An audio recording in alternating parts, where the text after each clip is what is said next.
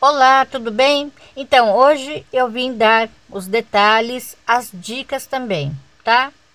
Então é o seguinte, para quem não sabe fazer tricô, vocês podem estar fazendo também em crochê, tá? Então é o seguinte, vai ser a mesma coisa, tá bom? Você vai médio quadril, tá? Múltiplo de 12 e vai fazer. Começa já daqui de cima. Uma carreirinha de ponto baixo, um ponto para cada correntinha. Você vai voltar fazendo ponto passa-fitas, tá? Você faz o ponto passa-fitas, depois você faz a próxima carreira em ponto baixo. Aí, né, para ficar dessa forma aqui, você faz do jeito que eu fiz, tá? Pegando o pontinho lá de trás. Pega o pontinho lá de trás. Somente essa carreira aqui, tá? As demais você pode fazer normal, ok? Aí vai ficar um detalhinho aqui, assim, tá bom? Então, você vai fazer o aumento da mesma forma que eu fiz aqui no tricô. Aqui eu fiz, aqui eu fiz sete carreiras, depois eu, eu fiz um aumento, né? Aí depois eu fiz mais é, tricô, meia, tricô, meia, tricô e meia. Ah, seis carreiras, aí eu fiz o aumento, né? Seis carreiras e fiz o aumento, tá bom? Bom, no caso né? Se vocês quiserem essa faixa maior, mas não querem aumentar muito, né? O que, que vocês podem estar fazendo? Vocês podem estar fazendo oito carreiras, depois você faz o aumento. Oito carreiras, depois faz o aumento. Aqui ele vai ficar maior, né? E com os aumentos necessários, né? Do jeito que você quer que ele fique, tá? Então a gente faz os aumentos exatamente para que essa parte aqui fique assim, tá? ok? Depois, aqui no final, é, você pode fazer o ponto fantasia do jeito que eu passei aqui para vocês, tá? Então, vocês fazem duas folhas, depois você vai aumentar um ponto. Duas folhas inteiras, depois você aumenta outro ponto. E vai assim até, né, o tamanho desejado, ok? Então aqui, para quem não sabe fazer tricô, pode fazer com outro ponto também, um ponto simples que seja, né, o ponto baixo, tá? Fica bem bonitinho, tá bom? E ah, uma coisa que eu esqueci de falar para vocês é o seguinte, eu deixei aqui para agora, como eu vou fazer, passar para vocês como fazer a costura no, no, no tricô, então eu deixei aqui para falar agora, tá? Então é o seguinte, aqui na última carreira, quando eu fiz a carreira em ponto meia, eu acrescentei mais dois pontos, sem contar aqueles 24, tá? Por quê? Porque na hora da costura, tá bom? É o seguinte, olha só. No primeiro ponto, eu fiz, tirei um ponto e fiz, né? Continuei fazendo.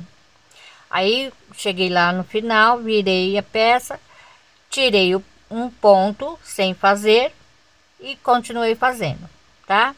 E ele fica dessa forma aqui, ó. Ok? Fica assim, tá? Então, esse primeiro ponto eu não conto, tá? Eu vou começar a costurar daqui do segundo ponto, ok?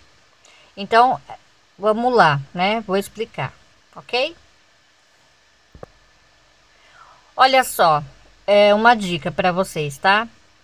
Você foi lá, foi mediu o seu quadril, né? Por exemplo, deu lá 85 centímetros, tá? Na hora que você faz o tricô, ele fica dessa forma, tá bom? Então, aqui você vai puxar um pouquinho, né? E eu acho que no, na minha saia só não serviu para mim porque eu puxei, eu puxei menos, né? Por isso que deu diferença de 3 centímetros. E na parte é, de vestuário, na parte de baixo, eu uso o tamanho M. Então, para mim, 40, a, calça número 40 já serviria para mim, né? Então, olha só, você vai puxando devagarzinho, tá? Até que ele fique ajustado. Você vai lá e vai experimentar para ver se ele está ajustado. E quando você for fazer o ponto baixo aqui, você não faz apertado, tá?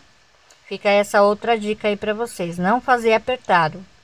Pode até trocar de agulha aqui, fazendo com uma agulha um pouquinho maior para ele não ficar apertado, ok? Senão depois na hora que você for vestir, isso não vai servir de jeito nenhum. tá bom? Então eu vou costurar, né, com outra cor para vocês conseguirem visualizar, tá? Então é o seguinte, aqui esse primeiro ponto eu não conto, tá? Esse daqui. Eu vou contar a partir desse, desse segundo, tá? Então eu vou pegar ele aqui no primeiro, primeiro pontinho aqui embaixo, tá? E vou sair assim, tá? De baixo para cima, ok? Aqui do lado esquerdo é a mesma coisa, tá? Eu vou pegar o primeiro ponto de baixo para cima. Ok?